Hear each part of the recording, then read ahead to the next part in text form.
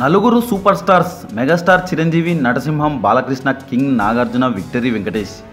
ఈ నలుగురు super stars nineteen eighties nineteen నైంటీస్లో టాలీవుడ్ని ఏలారు.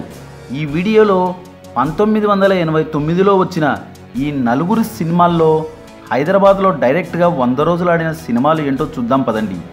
పంతొమ్మిది వందల ఎనభై తొమ్మిదిలో ముందుగా మెగాస్టార్ చిరంజీవి జనవరి పద్నాలుగున సంక్రాంతి కానుకగా వచ్చి దుమ్ము రేపాడు. చిరు కామెడీ టైమింగ్ డ్యాన్సులు స్టైల్ ఆఫ్ యాక్టింగ్తో సింపుల్ మూవీని ఇండస్ట్రీ వరకు తీసుకెళ్ళారు చిరు.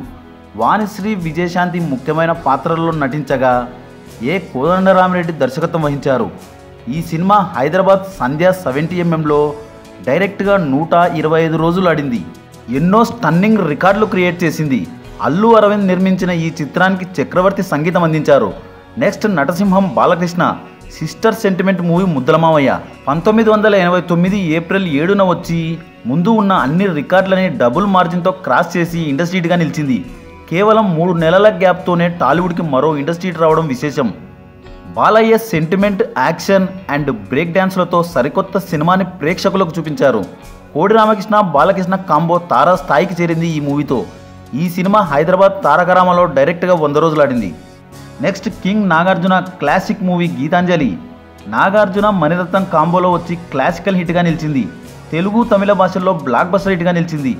ఇళయరాజా పాటలు చార్ట్ బస్టర్స్గా నిలిచాయి. హైదరాబాద్ దేవి సెవెంటీ ఎంఎంలో డైరెక్ట్గా నూట ఇరవై ఆరు రోజులు ఆడింది. నెక్స్ట్ ఇదే ఇయర్లోనే నాగార్జున మరో సినిమా శివ వచ్చి సంచలనాలు సృష్టించింది.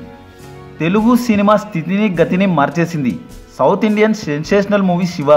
Ram Gopal Varma మొదటి సినిమాతోనే చరిత్ర సృష్టించాడు.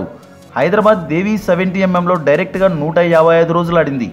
నెక్స్ట్ విక్టరీ వెంకటేష్ నటించిన ధృవ నక్షత్రం. వెంకీ రజిని జంటగా నటించిన ఈ చిత్రం సూపర్ హిట్గా నిలిచింది. బీసీ సెంటర్స్లో ఆల్ టైమ్ హిట్గా నిలిచింది. హైదరాబాద్ శాంతి థియేటర్లో డైరెక్ట్గా నూట ఇరవై రోజులు ఆడింది. మరో ఇంట్రెస్టింగ్ టాపిక్తో మళ్ళీ కలుద్దాం. ఈ వీడియో కనుక మీకు నచ్చినట్లయితే లైక్ షేర్ కమెంట్ చేయండి. సబ్స్క్రైబ్ చేయడం మర్చిపోకండి.